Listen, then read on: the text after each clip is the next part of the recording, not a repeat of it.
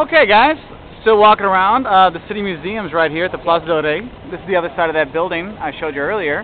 You got here, and then the entrance is around the side over here where that security officer is. And this is where you have the Roman ruins and stuff underground, like below me right here. That's where the museum is. You actually have the old city. They've dug it up. They have all the stuff, all the remains and everything there. It's really great. A friend of mine used to work there. I told you about that. But this is here, and it's a really cool square when you come out. So when you're going to go in over here, and you're going to come out on the square, just so you're not lost, okay? So the City Museum, very cool, definitely worth it.